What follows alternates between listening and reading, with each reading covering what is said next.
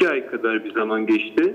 Meral Akşener'in e, partisini kurduğundan e, popüler olacağına dair bir işaret göremedim. E, Meral Akşener'in.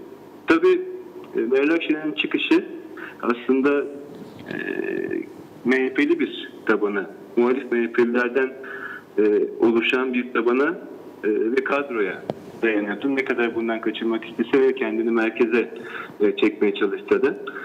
E, bunun ötesinde Meral Akşener'den bir çıkış, bir söz, yeni e, bir söz göremedim. Peki diyeceksiniz ki böyle bir sözün üretilmesi mümkün mü? Meral Akşener'in konumundan. E, bana kalırsa mümkün. Bana kalırsa mümkün. Bana kalırsa bütün muhalefet açısından e, böyle bir söz üretilmesi mümkün.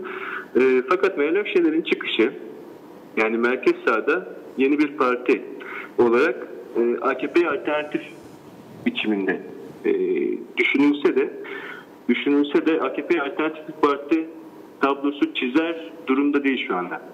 Şu anki konumu daha çok seküler milliyetçi kanada.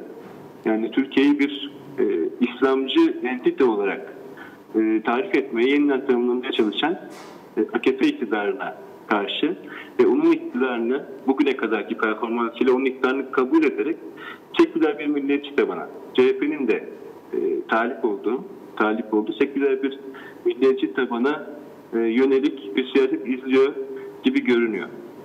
Fakat benim e, Akşener'e ve Akşener dışındaki muhalefete e, bakışımı belirleyen temel şey aslında şu. E, Türkiye e, bir olağanüstü hal rejimi içerisinde.